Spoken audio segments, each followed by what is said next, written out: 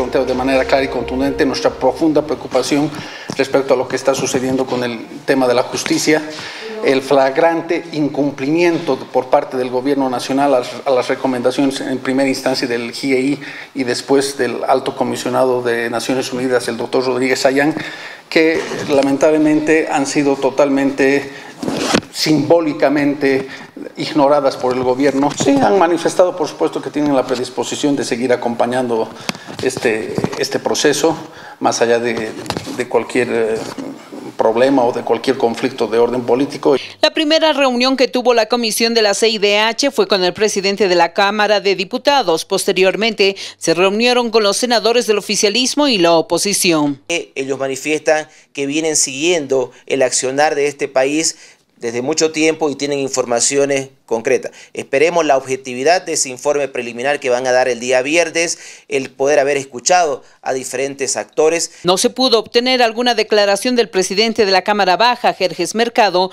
ni de los senadores del oficialismo para saber su criterio sobre esta reunión.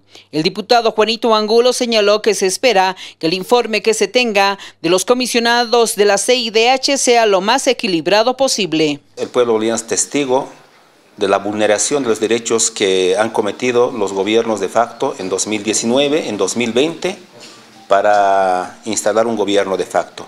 Y en ese marco, en esta visita, obviamente, todo informe que va a recabar por esta instancia y en su momento informará, revelará.